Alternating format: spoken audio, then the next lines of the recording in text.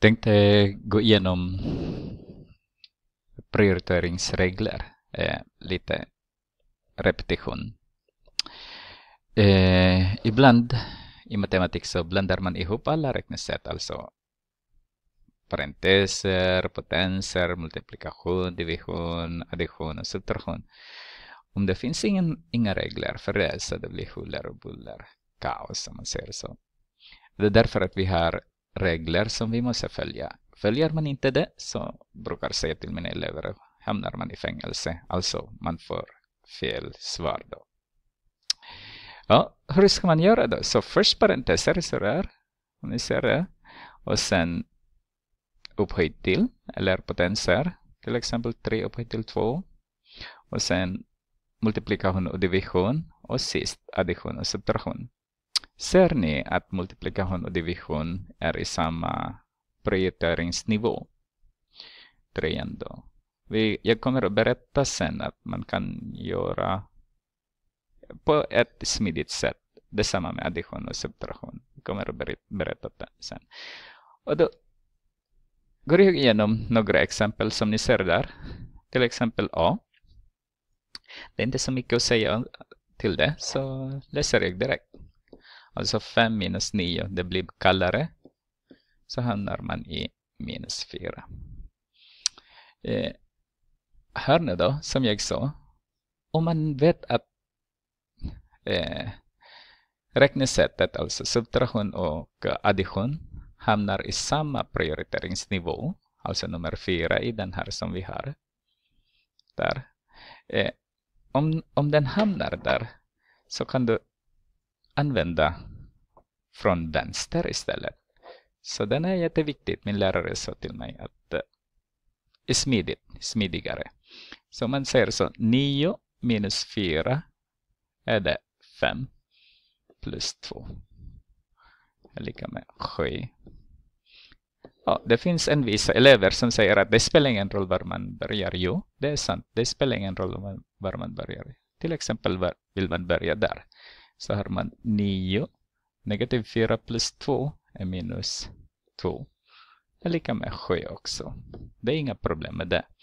Men som jag sa, det ska vara smidigare om man, om man gör det från vänster. Okej, okay. i Sino då så har vi både er subtraktion, nej, bara subtraktion, men ni ser att det finns två tecken intill varandra två tecken intill varandra som är lika blir positiv, har vi konstaterat i förra gången. Så blir det, adderar man 50 så har man 25. I D så har vi har vi den här nu då, lite ihoppackad här. Så i D. Så har vi två tecken som är intill varandra, som är olika. Då blir det minus eller subtraktion. Här har vi 16. Det, ah, subtraherar med 9. Då blir det 7. Vi tittar på nästa sida. Vad kan vi få där också? Okay. Så ser ni att det finns olika vi kan göra här också. Till exempel, jag ska bara flytta lite här nu då. Det här är vanlig, vanliga hittills. Men lite vanliga. Så har vi två negativa och den multiplikation. När vi har två negativa, då blir det positivt. Nu då, vi har multiplikation. Den här är multiplikation. Och vi har en subtraktion. Jag brukar inte ändra ordningen, så skriver jag 13 som det är. Och sen subtraherar med. Det är produkten av 2 och 5. Så skriver jag under. Och sen räknar jag det. Det är ett smidigt sätt att göra också. Därför att om man ändrar, många elever säger så här, 10 minus 13.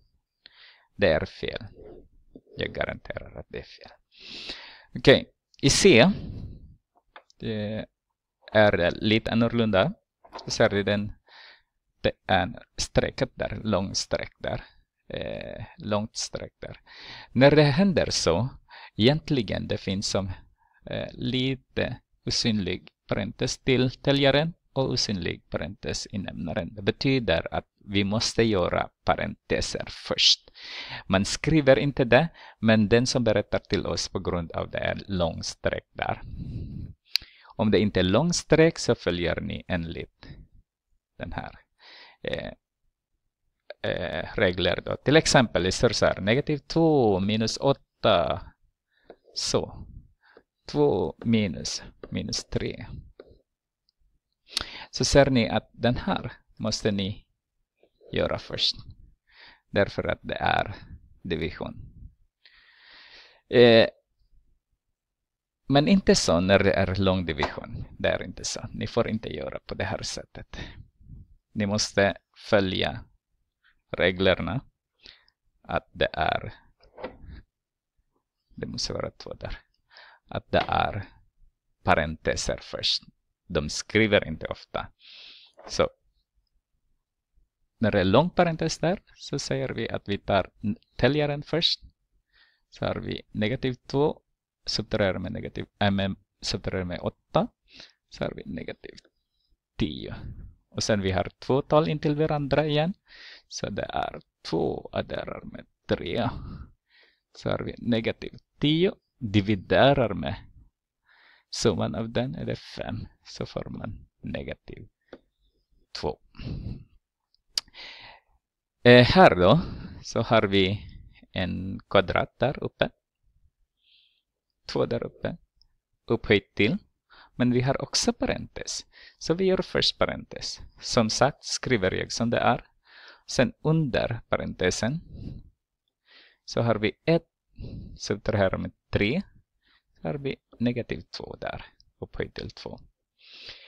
När, när negativ inom parentes upphöjt till 2 betyder så här. Negativ 2.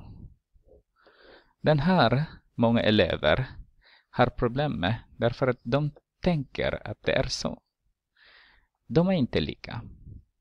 Negativ 2 med parentes upphöjt till 2 är inte samma som negativ 2 upphöjt till 2 utan parentes. Den här kan bli så det är bara ett negativ. Men den här, det, det är två negativa. Så du har två negativa, då har vi eh, positiv.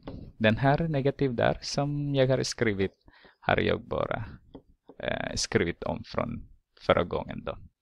Så har vi 6. Kom ihåg den, den här är jätteviktiga. Jag har många elever som har problem med det.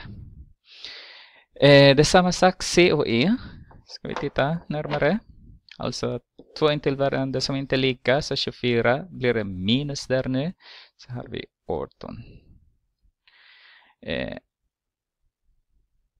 precis. Och sen negativ 2 subtraherar med negativ 4 så blir det negativ 6. Division, det är bara en negativ som ni har där. Så blir det negativ 3. Eh, jag ska berätta att jag har också eh, löst uppgifterna uh, från 100 eh, 100, 1104 eh, till 11, 18 och försöker lösa också de andra. Men titta gärna på min kanal. Ha det gott!